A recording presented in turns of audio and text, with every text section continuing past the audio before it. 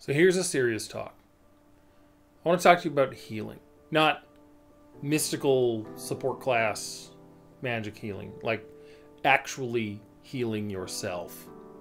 You know the things that bother you, they keep you awake at night, they keep you from doing the things you want to do. Me, it's anxiety attacks, it's panic attacks. I've talked about them in the podcast. I'll throw a link in the show notes so you can sort of see where I'm coming from. Uh, I've been doing therapy for about two years, and I can tell you that it is worthwhile to prioritize healing, putting work into getting better, into getting by. We prioritize security in a lot of other ways financial plans, food plans, organizational plans, project plans.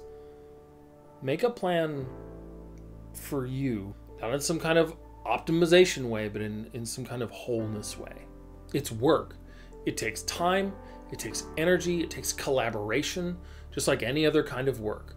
If you're worried about how much work it is for others, check in with them honestly, right? Try and, and get that feedback. If you're not worried about how much work it is for other people in your life to sort of help you do your healing, maybe start worrying about that a bit. It is work, it takes energy. Think about who your support network is, who you reach out to, not just in times of crisis, but every day for contact, for community. Those are the people you lean on, and the people who lean on you. It's important that that network of people be diverse.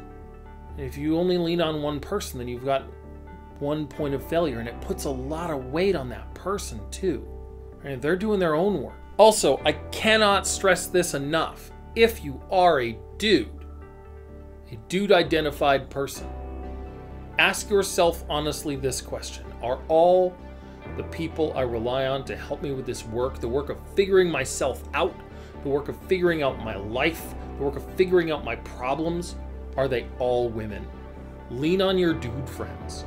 Like step up and do that bro emotional labor. It's it's a real good time, right? You get real bonds and real friendships out of that. If you are hurting bad and you can allocate the resources, you can find the resources to that. Remember, like this is just like any other project. You commit time, you commit resources. Look for professionals, right? That might mean podcasts, that might mean blogs, right? If you're if you're broke, therapy ain't cheap.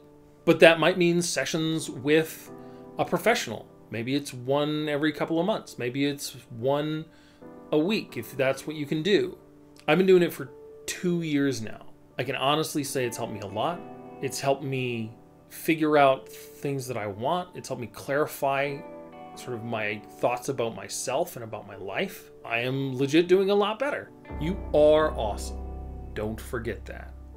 But find the time and do the work to stay that way. Stay awesome.